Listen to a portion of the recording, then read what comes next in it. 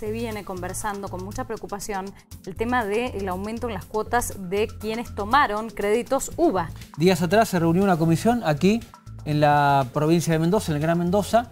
Primero se reunieron con el intendente del departamento Maipú, Alejandro Bermejo, para pedirle ayuda a través del municipio, del gobierno provincial y también a la nación. Algo tienen que hacer porque la gente no puede pagar los créditos que tomó. Claro, los tomadores de créditos están en una situación bastante compleja.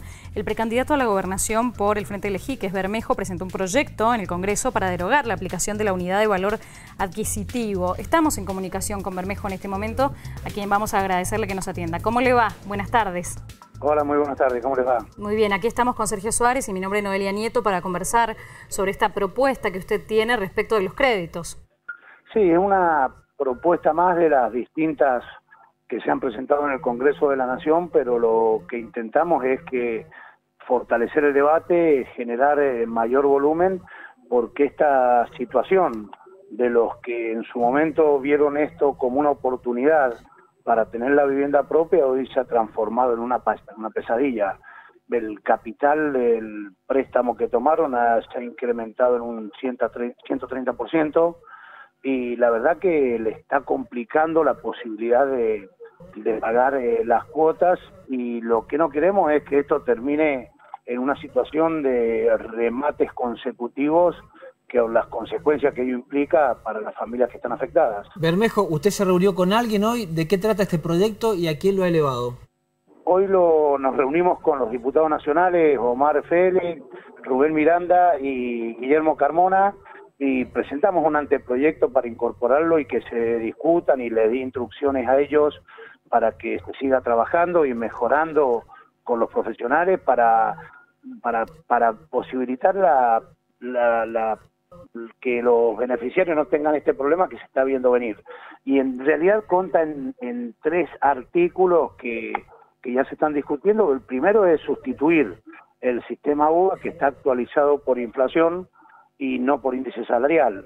Entonces esto es lo que estamos proponiendo. en el periodo 2016-2018 el incremento salarial fue un promedio del 117% y la inflación fue del 160%. Entonces va corriendo el salario por debajo de la inflación, lo cual hace que los vecinos tengan que gastar más dinero del salario para pagar su hipoteca.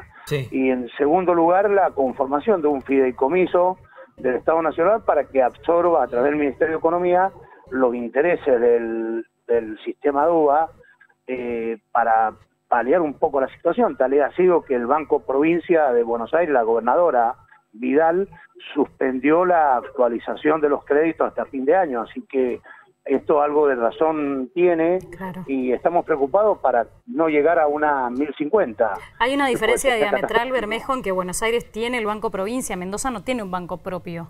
Está bien, por eso que se haga cargo con un fideicomiso el Estado Nacional, porque el Estado Nacional es el que le prometió a la gente la adquisición de un, de un préstamo hipotecario para la vivienda, pero en un escenario de inflación de un dígito, y hoy es imposible, hoy, hoy se hace inviable. Entonces, de alguna manera, se tienen que hacer responsables y se tienen que hacer cargo. ¿Tuvo la posibilidad de, escuchar o leer lo que escribió esta funcionaria del Banco Nación Mendocina, eh, sí, me Me eh. parece una tontería, porque la resolución del Banco Central lo único que hace es prorrogar en meses, a no ser que le, que la extienda la expectativa de vida a los beneficiarios, no beneficiarios, los perjudicados por los préstamos hipotecarios. Van a tener 100 años, 120 años y le van a tener que pedir eh, garantía a los hijos y a los nietos. Digo, esto es una locura.